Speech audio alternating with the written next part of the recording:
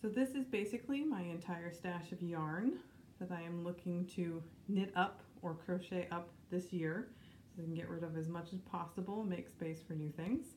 Um, I've got a wide variety of items like the green mohair that I randomly picked up um, in a knitting store in Port Townsend for some reason. No idea what I was going to do with it. Um, some more fun, funky yarns. I've got some dyed. This yellow yarn is dyed with turmeric, where the pink is dyed with avocado pits. I've got a lot of little bits and pieces that I've inherited from my mom. She gives me all of her scraps. I've got some, that pink is alpaca. Then there's some that I have spun up. This Tasman is wool. There, this Knit Picks is, uh, I think, cotton and linen. And I've got straight up wool stuff. Um, the pink is more cotton, more wool. Then I've got things like this, uh, this lovely blue is actually from Scotland.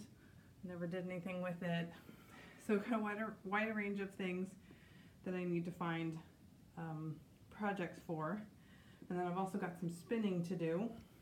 So here's the, the fiber I have to spin up. The top three are wool, uh, different breeds, and I used those to make a vest a couple of years ago. And I can link that blog post. And then I recently bought this cotton, which I haven't done anything with yet, and I need to try and see how that works. That will be fun. And then this uh, flax roving, which I have tried to spin a little bit of, and uh, obviously have some more to work with. So those will be interesting projects.